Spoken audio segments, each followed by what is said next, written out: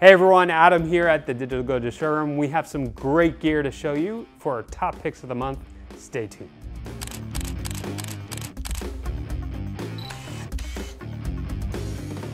Hey everyone, if you're new here, welcome to the Digital Goja YouTube channel.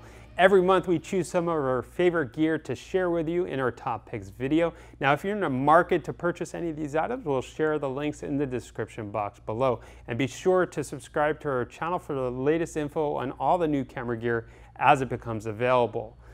Let's start with our top picks video. Number three in the lineup, we have Canon's EF 135mm f2L series lens. Now this is a lens that's designed specifically for the full frame Canon uh, DSLR cameras, but you can also use it on the crop sensor cameras as well. You can even use it on the new EOS R camera with the EF to R adapter. Now this has made it to our top picks video because we think it's one of the most overlooked lenses especially for taking portraits. A lot of people like the versatility of a zoom lens like a 70 to 200 f2.8 but that lens is fairly big. And if you're gonna be shooting for a long period of time, it gets heavy, especially if you're someone that likes to shoot with two cameras.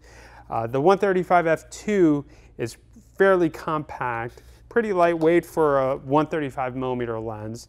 It's extremely sharp, the focus is fast. Now it doesn't have stabilization like the 70 to 200 millimeter f2.8, but uh, this is a lens you should definitely look at if you're a wedding photographer, if you're a portrait photographer, um, if you've been in the market for a nice short telephoto zoom lens, 135 millimeter f2 is the perfect lens for you, so take a look at it. Number two in the lineup, we have the professional LED video light kit by Altura Photo. Now it's made it to our top picks video because it's a great portable lighting solution for all your photo and video needs. What I really like is that Altura Photo provides you with a protective zippered carry case that stores everything you need to get started using the LED light off or on camera. Inside the case is where you're going to find the compact lightweight panel that has 160 daylight balanced dimmable LEDs. You have a rechargeable lithium ion battery and charger that gives you about two and a half hours of runtime at full power. You get a ball head cold shoe mount for using your LED light on or off camera, and you get a soft frosted diffuser and colored gel. So if you're looking for an easy to use, high quality LED light source, look no further than the Altura Photo Professional Video Light Kit.